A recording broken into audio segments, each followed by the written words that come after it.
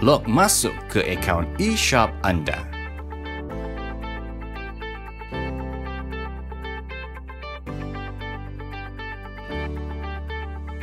Kemudian, tukar bahasa mengikut pilihan anda.